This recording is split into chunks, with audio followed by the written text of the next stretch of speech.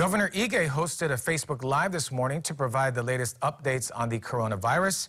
He was joined by state epidemiologist Sarah Park and Danette Tomiyasu, Deputy Director for the Health Department's Health Resources Administration. Among the questions answered, what's the latest on Hawaii getting those test kits?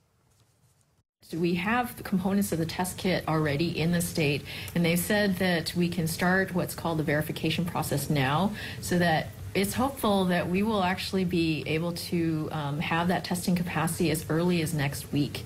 Um, and that's really great news for all of us here in Hawaii. Governor Ige will host another Facebook Live next week with Transportation Director Jade Butay and spokesperson for the Transportation Department, Tim Sakahara. They'll talk more about what the airports are doing to monitor for coronavirus.